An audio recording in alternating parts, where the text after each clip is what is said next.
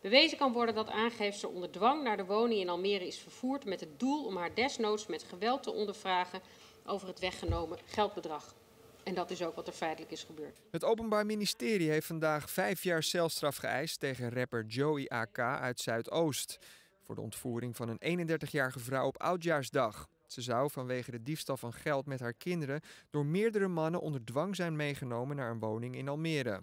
Een arrestatieteam van de politie viel die flatwoning naar een melding op nieuwjaarsdag binnen. Dat er sprake was van een ernstig geweldsdelict blijkt onder andere wel uit haar letsel.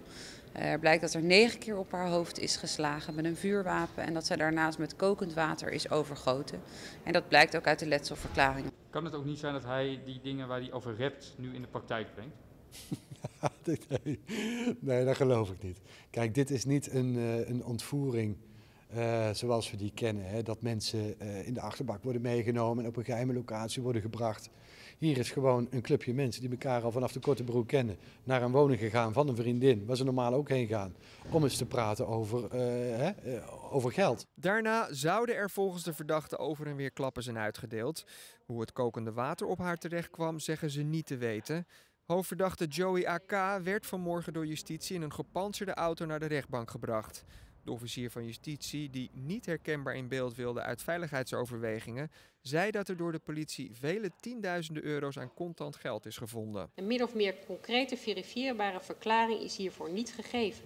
Conclusie is dan ook dat het niet anders kan zijn dan dat de aangetroffen contante geldbedragen en de Rolex middelijk of onmiddellijk van misdrijf afkomstig zijn.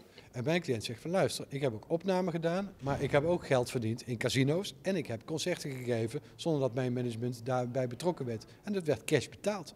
Hij, hij werd flink gedraaid en van elke keer dat je gedraaid of gestreamd wordt, krijg je geld. En dat loopt gewoon op. Het OM zegt dat het erop lijkt dat de rapper zich in kringen van zware criminaliteit bevindt. Uit het dossier komt een beeld naar voren uh, van een verdachte die openlijk met grote geldbedragen en vuur, uh, vuurwapens uh, rondloopt. En daarbij openlijke minachting heeft voor de politie. En waarbij hij behoorlijk groot aanzien heeft bij jongeren in zijn omgeving. En dat vindt het Openbaar Ministerie zeer zorgwekkend. Het is niet, niet heel normaal dat mensen met een vuurwapen uit, een, uit het raam van een auto schieten. Van de andere kant, mijn cliënt is een rapper. En die, die, die, die doen zich ook voor op een bepaalde manier. Ik wil niet zeggen dat je zo bent. Ik heb tegen de rechtbank gezegd, niet elke zanger van het levenslied is een alcoholist. De beste wel, maar niet iedereen. Maar zo moet je je voordoen als rapartiest. Het slachtoffer zou later nog een brief hebben ondertekend of geschreven waarin staat dat ze vrijwillig met de mannen meeging.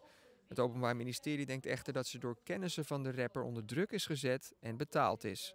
Het is nog niet bekend wanneer de rechtbank uitspraak doet.